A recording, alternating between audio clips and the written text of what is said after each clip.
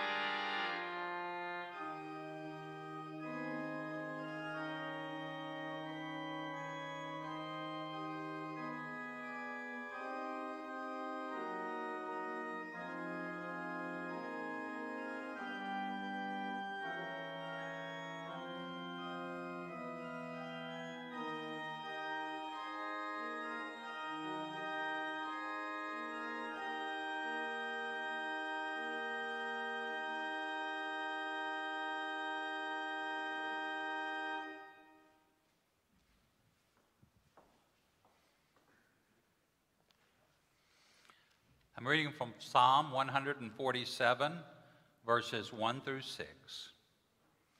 Praise the Lord. How good it is to sing praises to our God. How pleasant and fitting to praise him. The Lord builds up Jerusalem. He gathers the exiles of Israel. He heals the brokenhearted and binds up their wounds. He determines the number of stars and calls them each by name. Great is our Lord and mighty in power. His understanding has no limit. The Lord sustains the humble, but casts the wicked to the ground. Now I invite you to stand as you are able and join with me in our call to worship.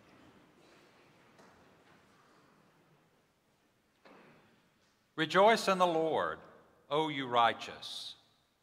The For the word of the Lord is upright and all his work is done in faithfulness.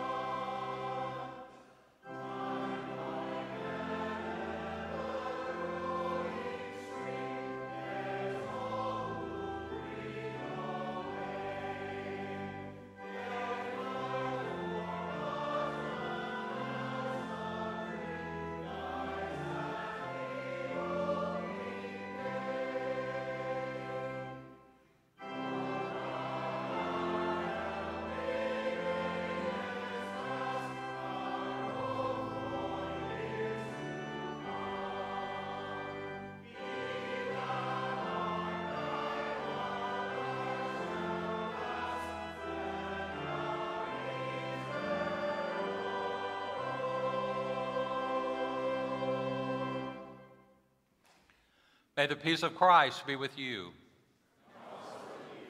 Now let us greet one another in Christ's love.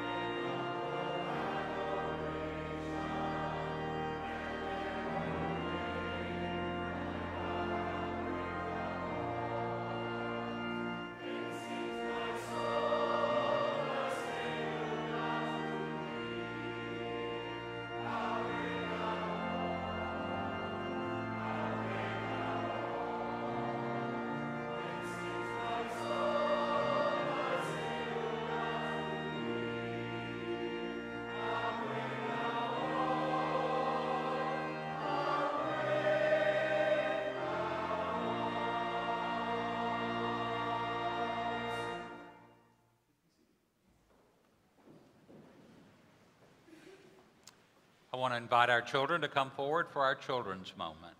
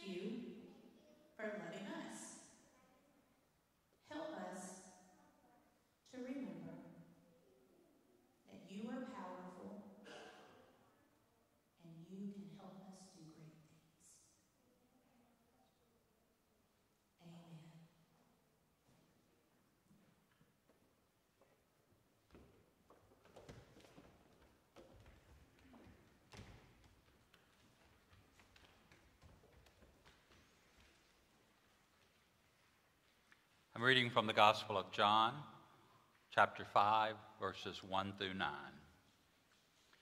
Sometime later, Jesus went up to Jerusalem for a feast of the Jews. Now, there is in Jerusalem, near the sheep gate, a pool which in Aramaic is called Bethesda, and which is surrounded by five covered colonnades. Here, a great number of disabled people used to lie the blind, the lame, the paralyzed. One who was there had been an invalid for 38 years. When Jesus saw him lying there and learned that he had been in this condition for a long time, he asked him, Do you want to get well? Sir, the invalid replied, I have no one to help me into the pool when the water is stirred. While I am trying to get in, someone else goes down ahead of me. Then Jesus said to him, Get up, pick up your mat, and walk. At once the man was cured. He picked up his mat and walked. This is the word of God for the people of God. Thanks be to God.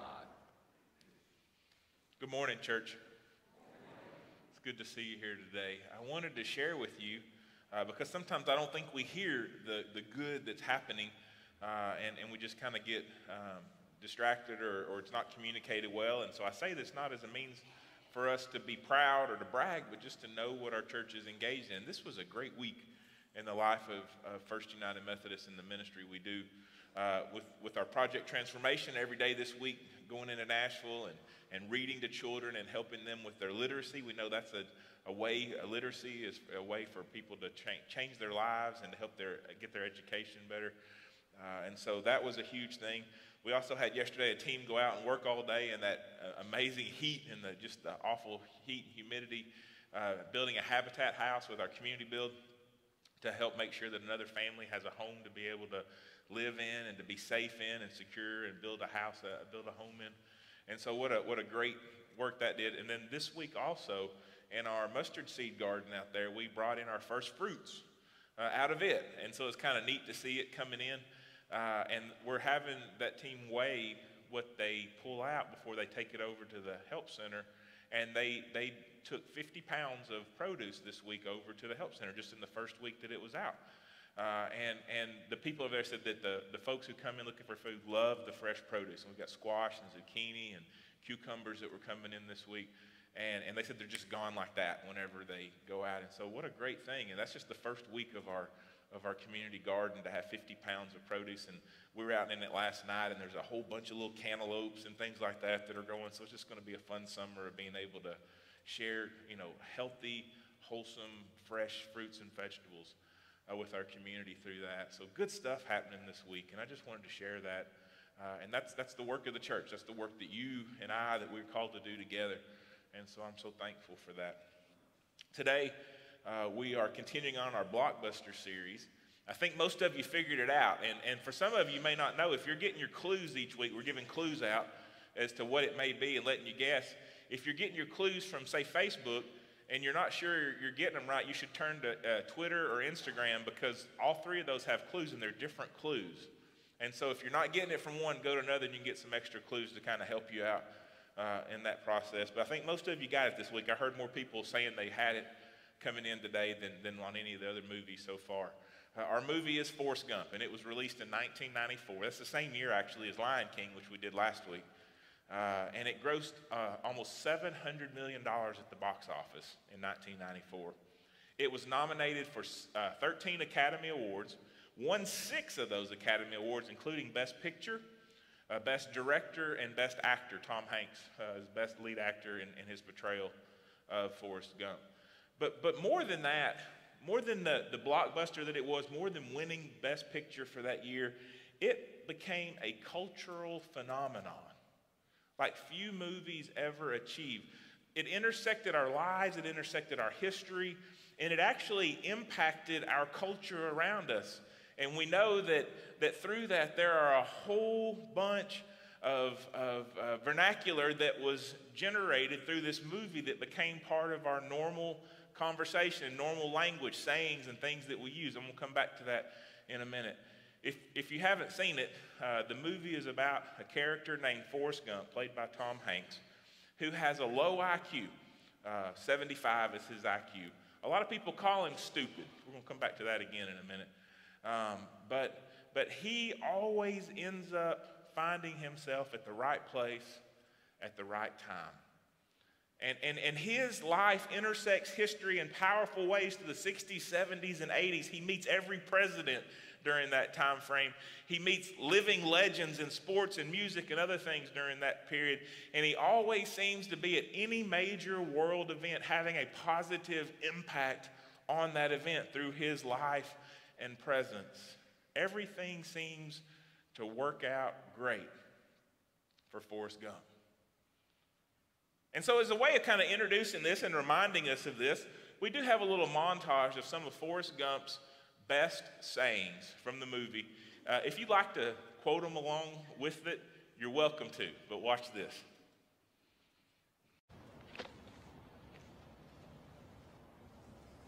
Do you want a chocolate? I could eat about a million and a half of these. My mom always said life was like a box of chocolates. You never know what you're going to get. Now, my mom always told me that miracles happen every day. Some people don't think so, but they do. Run, Forrest! Run away! Hurry! Get the bags!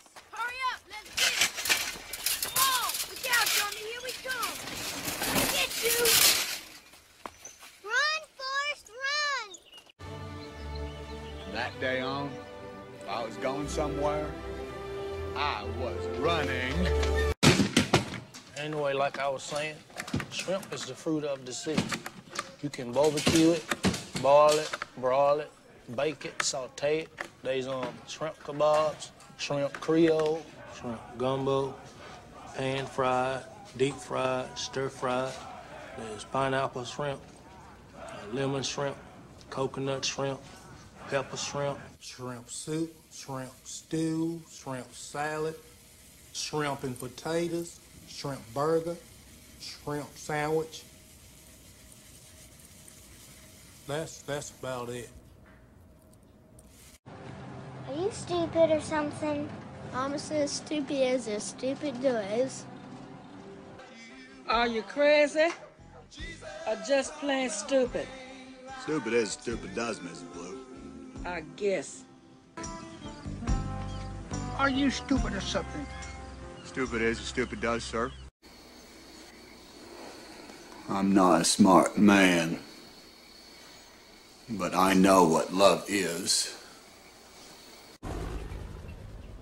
That's all I have to say about that.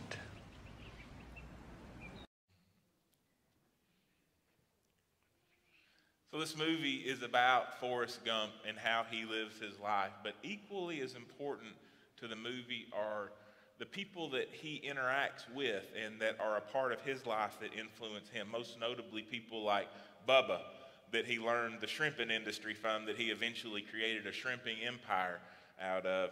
Uh, of course, Lieutenant Dan, uh, who was a key figure in helping him to stay alive while he was in Vietnam. And then there was Forrest's Jenny. Jenny is the person outside of his mother that Forrest loved the most in this world. And as much as this movie is about Forrest, it is also about Jenny. And as much as this movie is about how everything always seems to work out for Forrest Gump, this movie is also about how difficult and hard life is for Jenny. We learn early on that when Jenny was growing up, her father was an alcoholic, and he was physically and sexually abusive of her. And that created a deep pain in her life, a deep void that we know throughout the movie Jenny tried to fill in all sorts of ways through alcohol, drugs, men, and anything else that could either cause her to forget, that would try to fill that void, or that would at least take the edge off of the extreme pain that Jenny felt. We know this led her down a path because of the choices she made, trying to feel the hurt from the pain of a choice that was made without her permission against her. Eventually, in the movie, broken, beaten down, and hopeless, Jenny doesn't know where else to turn, and so she goes home. And there she finds Forrest welcoming her back in with open arms, loving her unconditionally, not concerned with the choices in the past and the consequences of those choices that she had made. There's one more clip that I want you to watch from this movie, and it's after Jenny had come home and she and Forrest are there, and they go out on a walk one day, and they find themselves out by Jenny's home that she grew up in. It's sort of a spiritual journey of sorts for her, though not in a good way, as it brings back a lot of pain and brokenness for her. Watch this clip. Every day we'd take a walk, and I'd jabber on like a monkey in a tree, and she'd listen about ping ponging and shrimping and Mama making a trip up to heaven. I did all the talking. Jenny most of the times was was real quiet.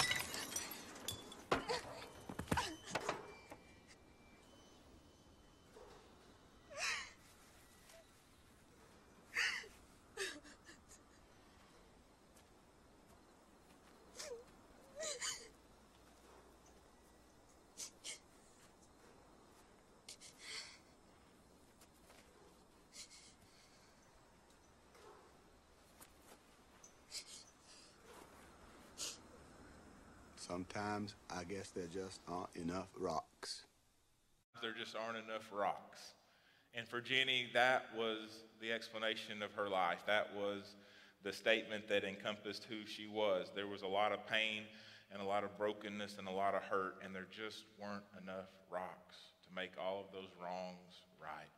We know that later on in the movie, uh, after Jenny had died, Forrest using the money that he made from his Apple computer stock, which did pretty well, and, and his Bubba Gump shrimping company, he bought that house and had a bulldozer demolishing it, sort of giving some justice to Jenny's past. We like this movie because we love seeing someone like Forrest Gump, someone so pure, so kind, so genuine, succeed. But there's also a piece of this movie that we're drawn to, whether we'll admit it or not, because we see ourselves in Jenny.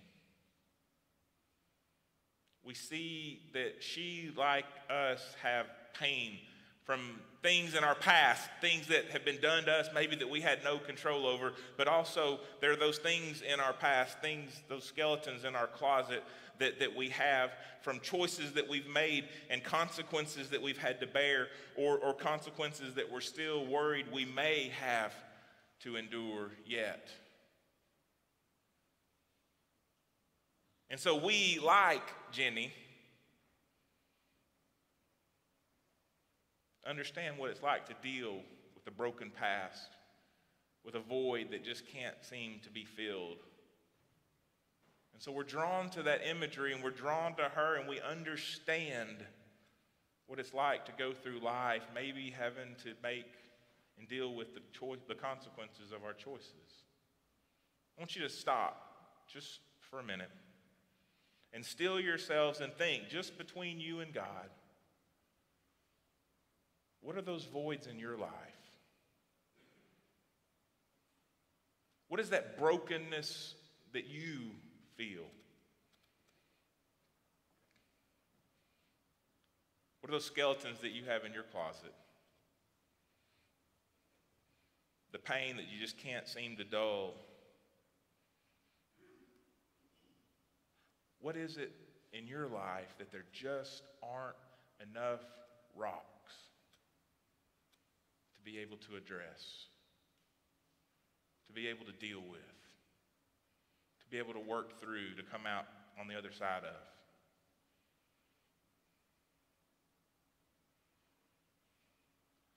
I wish I knew more about the man that we read about in our scripture today. We don't know a whole lot about him. What we do know is that he had had an affliction that he had been dealing with for 38 years. Whether that was all of his life or only a part of his life, we don't know. But it had left him partially paralyzed, unable to get around uh, at some level. We don't know the full extent of that, but it had caused him great pain. We do know that. And we know that for an extended period of time, maybe for that whole 38 years, if not for many, many years, he had come and surrounded himself with other people who were, had similar situations, who were sick, who were diseased, who were blind, who were paralyzed, others who had come to this pool called Bethesda because an old wives' tale had said that when the pool was stirred, that that meant there were healing properties that were present. And if you could get yourself into the water at that moment, then you could be healed from your affliction, whatever that was. And so this man had given of himself, putting his hope in the stirring of the pool that he might be able to find hope and healness through that. To no avail, I might add with no understanding that any of that was true, but that was the only hope that he had that he held on to. And what we do know about him as well is that Jesus came to him on this one particular day. And he asked the man, Do you want to be well? And the man was almost offended that Jesus would ask him that because he said, Of course I want to be well. Why else would I be out here? Why else would I have given up on any other chance at life I had and be here surrounded by all of these people except that I want to be well and I want to get into that pool whenever it stirs so that I can walk again? But every time it stirred up, people cut me off, they pushed me aside, they knocked me down. No one wants to help me. Everybody's only concerned with themselves. They're acting selfishly, and so I can't ever get in the water. Of course, I want to be well. Why do you think I'm here? I want to stop for a minute and just talk about these two images that we have before us. One, the image of Jenny from Forrest Gump, and one, the image of this man beside the pool at Bethesda. I see a lot of similarities in these two. Jenny had had some evil thing done to her when she was a young child. And the fact that it happened to one person is evil, and the fact that it happened so prevalent in our society is just tragic that we will take advantage of the vulnerable in our culture like that, in our world like that, is just awful. And because of that event, it changed her, and it changes everyone who have had to endure such abuse. And because of that, it created that void, that, that pain that she was constantly trying to fill, oftentimes making poor choices that carried with them significant consequences. Ultimately, it led to Jenny's death as she acquired HIV and died of AIDS.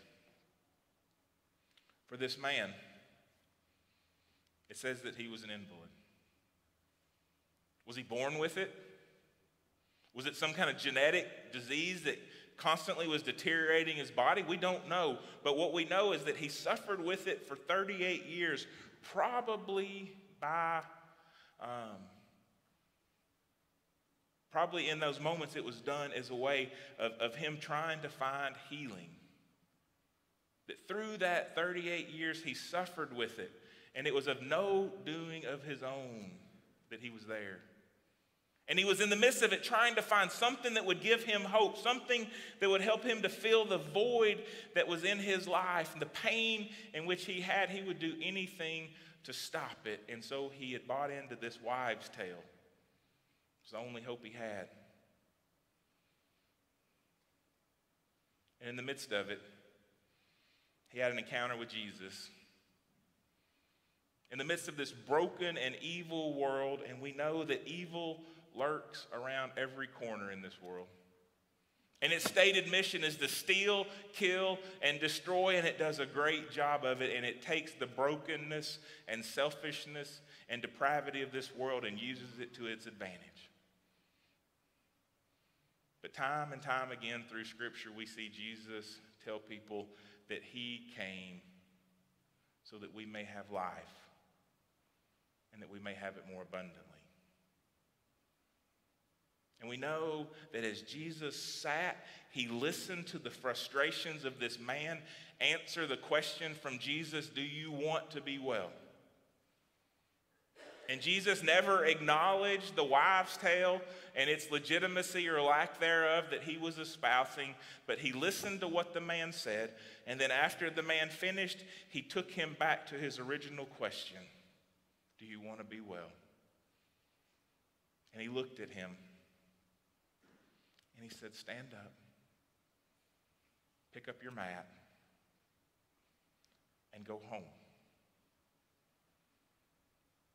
And in that moment, I dare say that there was something in that man that changed, and he recognized that the hope that he had placed in the pool at Bethesda was not authentic.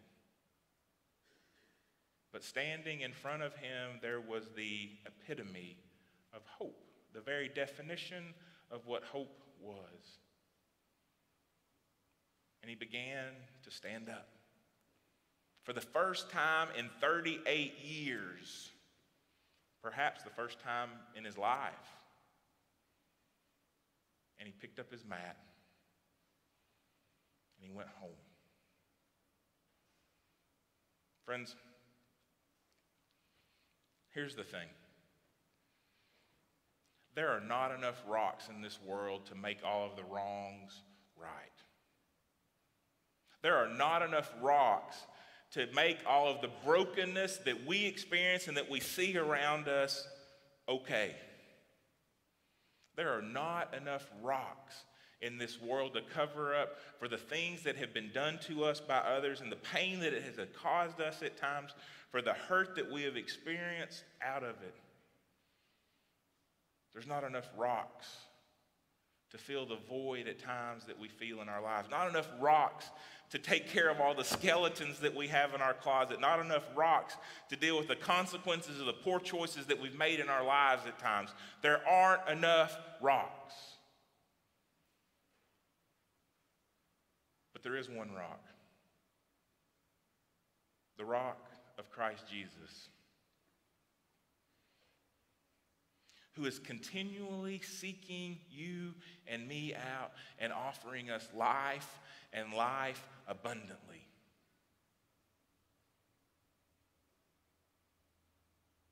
Despite the poor choices that have been made against us, despite the poor choices that we have made, despite the far off lands and the pigsties that we found ourselves in, Jesus continues to pursue us and continues to offer us life and to counteract the one who comes to steal, kill, and destroy.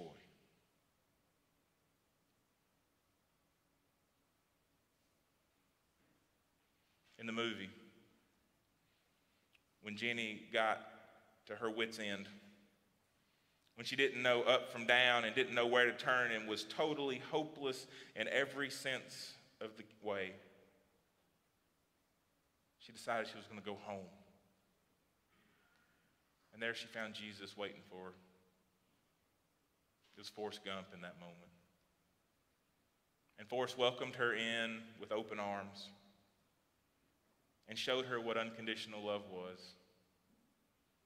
And Jesus offers that same thing for you and for me,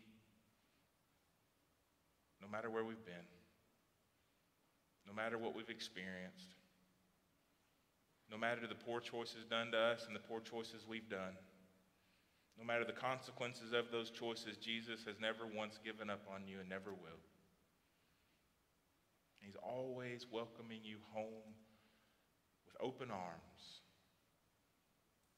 giving you love unconditional, giving you life abundantly. In the world to come, yes. But saying, even though you've been invalid even though you've been limited for 38 years, I still want to give you life today, a new life. And He speaks life into your life and my life. That's the rock that matters. That's the good news that Jesus Christ offers. That's the rock that our very faith is built on. Thanks be God. Amen. Our song of response will be on the screen. It'll be in your hymnal as well if you'd like to read it there.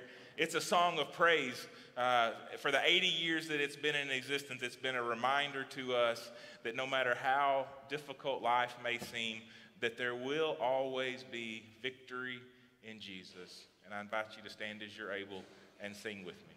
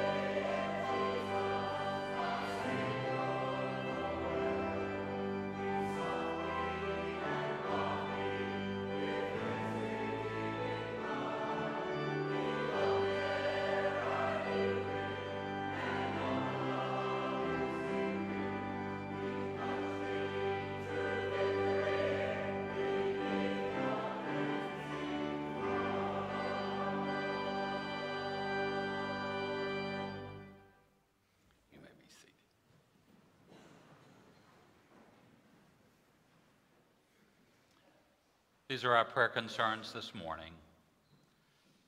Health concerns for Dee Dee, Dad. Prayer for family of Bill Gwaltney. Praise and prayers for our expanding family. Prayers for my aunt, recent surgery to remove a cancerous tumor. Praise to God for the miracles and blessings He has bestowed on all of us and for this beautiful weekend.